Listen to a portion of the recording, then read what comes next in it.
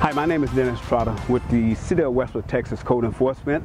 Uh, as promised, we got another episode of Co uh, Code Enforcement Connection. This month, we're going to be featuring junk motor vehicles. So let's get started. We have a lot to cover. What is a junk motor vehicle? Junk motor vehicle is defined as a vehicle that is wrecked, dismantled, or partially dismantled and discarded.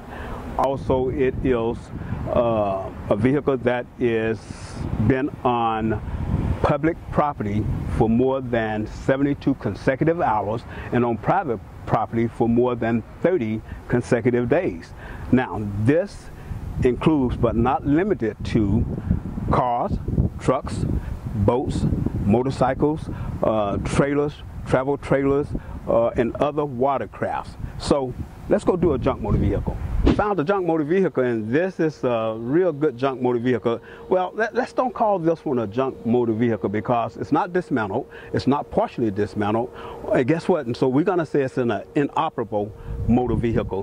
What makes it inoperable? Well, one of the things that makes this one inoperable is that the registration sticker is expired and there is no license plate on the vehicle that is being displayed.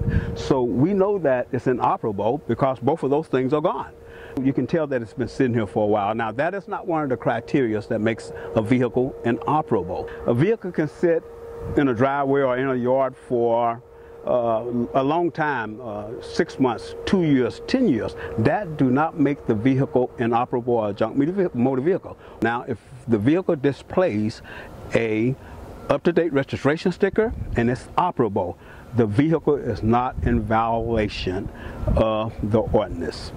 I want to talk to you about how to report a violation. Just go on the city website and under the police portion of that website, you're going to find code enforcement.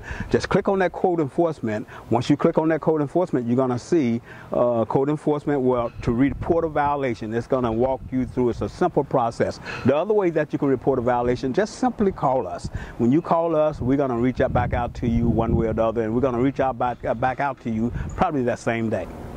Thank you so much for listening to this video. Guess what? We'll be back again next Monday. We're going to be featuring dangerous building. You want to tune in for that as well because it's going to be a good one. We'll go over some of the very fine details about a dangerous building. So, hey, I'll see you next time.